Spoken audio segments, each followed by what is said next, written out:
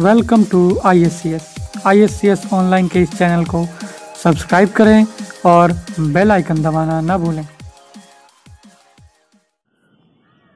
तो आज हम लोग रेलवे के जोन्स और उसके हेडक्वार्टर्स के बारे में बात करने वाले हैं। तो यहाँ से एक क्वेश्चन एग्ज़ाम में ज़रूर से ज़रूर ही आएगा।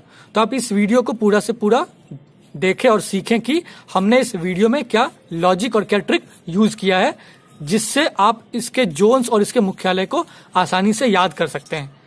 तो अभी आपके स्क्रीन के सामने एक मैप आ रहा होगा। ये इस टाइप का मैप है। इसमें हमने रेलवे जोन्स और उसके हेडक्वार्टर्स के बारे में लिख रखा है। अब इसको पूरा पूरा मैंने लिखा कैसे और याद कैसे किया जा सकता है इसको। तो इसके पीछे एक छोटा सा लॉजिक है, या फिर आप इसको ट्रिक भी कह सकते हैं। तो आइए इसको सीखते हैं कि मैंने इसको लिखा कैसे है और ये होता कैसे है। तो आइए इसके पीछे का लॉजिक हम लोग देखते हैं।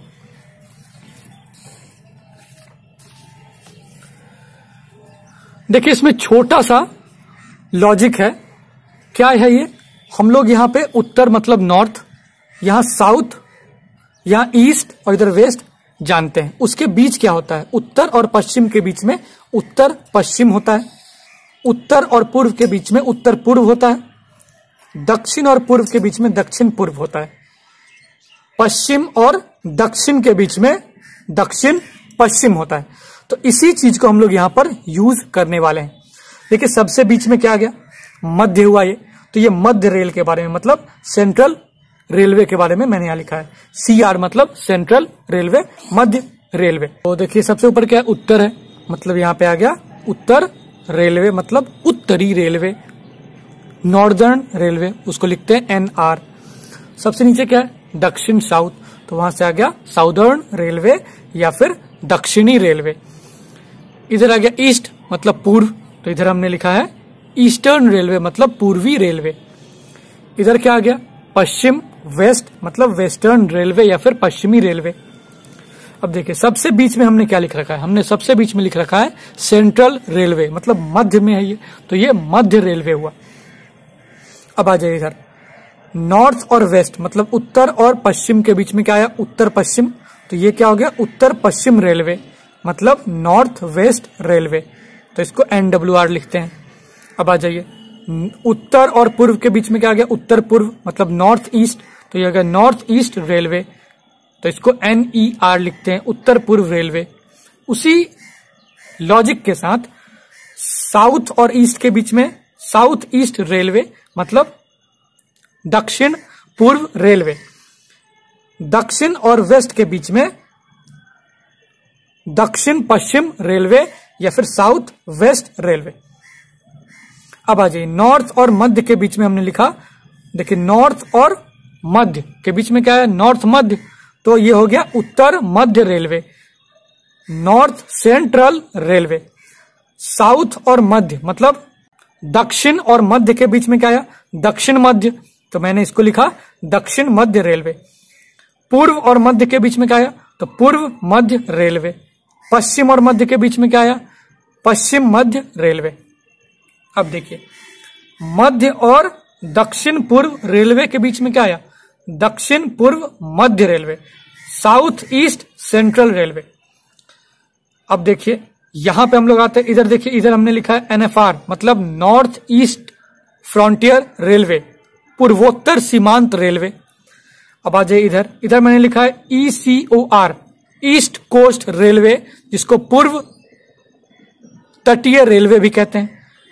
एस सी ओ आर ये भारत का अठारहवा रेलवे जोन होने वाला है।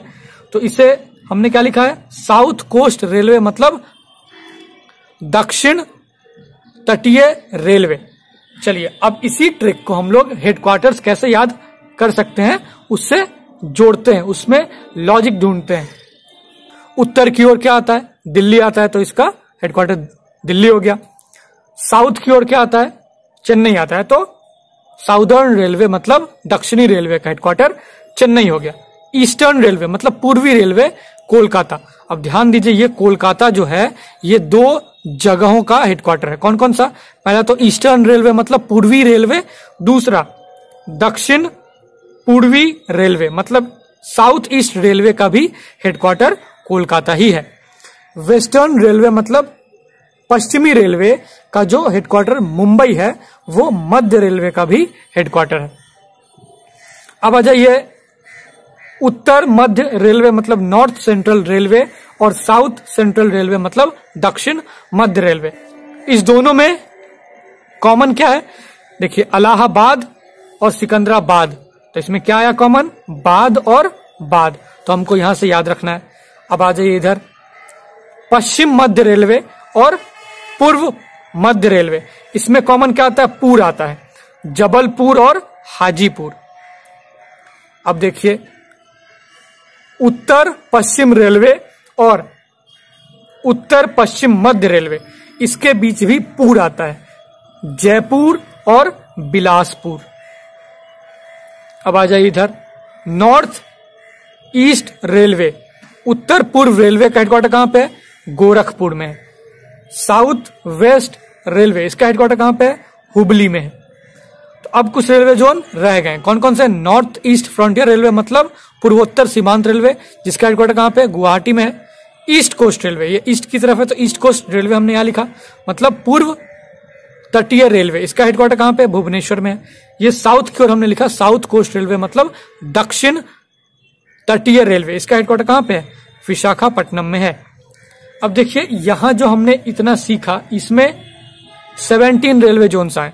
एक रेलवे जोन रह गया 18 वो कौन सा है? मेट्रो रेलवे जिसका हेडक्वार्टर कहाँ पे है? कोलकाता में है। तो हमने इस ट्रिक से सीखा और कुछ लॉजिक भी यूज़ किया, जिससे हम लोग रेलवे जोन्स और उसके मुख्यालय को याद कर सकते हैं। तो हमने क्या सीखा? हम लोग एक बार प्रैक्टिस करके भी देखते हैं कि हम लोग लिख पा रहे हैं या फिर नहीं। तो चलिए एक बार लिख के देखते हैं। देखिए, सबसे ऊपर हमने क्या लिखा था? नॉर्थ या फिर नदर्न रेलवे मतलब उत्तरी रेलवे। सबसे नीचे दक्षिणी रेलवे, एसआर। इधर पूर्वी रेलवे, इधर पश्चिमी रेलवे। सबसे बीच में मध्य रेलवे और इस दोनों के बीच में मतलब उत्तर और मध्य के बीच में, उत्तर मध्य रेलवे, एनसीआर। दक्षिण और मध्य के बीच में, दक्षिण मध्य रेलवे। अब देखिए, उत्तर और पूर्व के बीच में, उत्तर पूर्व रेलवे। दक्षिण और पूर्व के बीच में, दक्षिण पूर्व रेलवे। दक्षिण और पश्चिम के बीच में, दक्षिण पश्चिम रेलवे। उत्तर और पश्चिम के बीच में उत्तर, पश्चिम रेलवे। अब देखिए, इतना हमने लिख लिया। अभी पश्चिम और मध्य के बीच में, पश्चिम मध्य रेलवे, पूर्व और मध्य के बीच में, पूर्व मध्य रेलवे। अब देखिए, इस मध्य और दक्षिण पूर्व रेलवे के बीच में भी एक आता है, वो होता है साउथ ईस्ट मध्य रेलवे। मतलब दक्षिण पूर्व मध्य रेलवे। अब हमारा कुछ रह गया कौन कौन सा? इधर रह गया पूर्वोत्तर सीमांत रेलवे, इधर रह गया पूर्व तटीय रेलवे, और इधर रह गया दक्षिण तटीय रेलवे। और हमारा लास्ट कौन सा रह गया? लास्ट रह गया हमारा मेट्रो रेलवे हमने नॉर्थ की ओर क्या जाना था? दिल्ली, साउथ की ओर चेन्नई, सबसे बीच में मुंबई, और मुंबई वेस्टर्न का भी है। कोलकाता किस किस जगहों का था? पूर्व रेलवे और दक्षिण पूर्व रेलवे का।